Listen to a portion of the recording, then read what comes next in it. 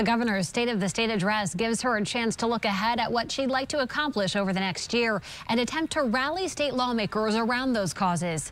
It's a historic moment, too. Governor Hochul is the first woman elected governor of New York, and while she gave a State of the State address a year ago, she'd only risen to the role after her predecessor, Andrew Cuomo, resigned in disgrace.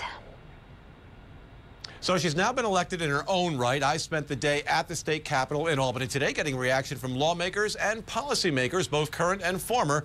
I'm here right now at our Albany Bureau, which is really just steps away from the building where the governor gave her hour-long address earlier this afternoon. Governor Hochul is putting an emphasis on three big issues, New York's high cost of living, lack of housing, and crime. My number one priority has always been and always will be keeping New Yorkers safe.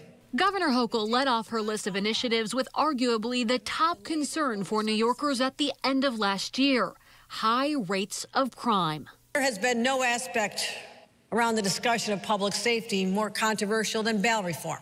Hochul quickly doubled down on her support of the premise behind New York's bail laws to keep poor people from languishing behind bars, but acknowledged there are issues with the policies, which critics have blamed for the violence. I would say we can agree that the bail reform law as written leaves room for improvement. And as leaders, we cannot ignore that. When we hear so often from New Yorkers that their top concern is crime, Hochul also announced a massive $1 billion investment in addressing what she called the mental health crisis in an effort to reduce crime and improve public safety by increasing access to care for adults and school children. This will be the most significant change since the deinstitutionation era of the 1970s. Hochul's number two top initiative, new action to address New York's housing crisis. Today, I'm proud to introduce the New York Housing Compact. The compact pulls together a broad menu of policy changes that'll collectively achieve the ambitious goal of 800,000 new homes built over the next decade. Hochul said strict building policies in local municipalities have stunted growth and indicated investments will be greater for downstate. Every single locality across the state will have a target for building new homes.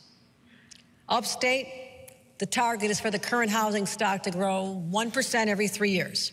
Downstate, 3% every three years. Hochul's final remarks were met with a standing ovation as she addressed her number three top initiative, New York's high cost of living. She announced the state's minimum wage will now be tied to inflation. If cost goes up, costs go up, so will wages.